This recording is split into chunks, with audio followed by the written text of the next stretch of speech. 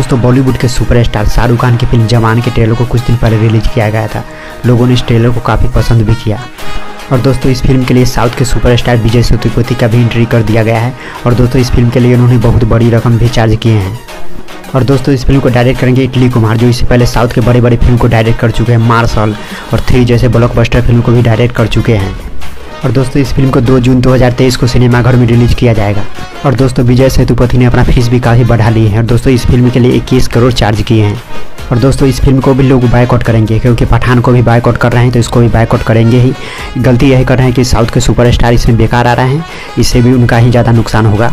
और दोस्तों, इससे पहले बॉलीवुड के बड़े बड़े फ़िल्म को भी बायकआउट किया गया था। इससे पहले लाल सिंह चड्डा रक्षाबंधन और ही बड़े बड़े फ़िल्म को बायकआउट किया गया था।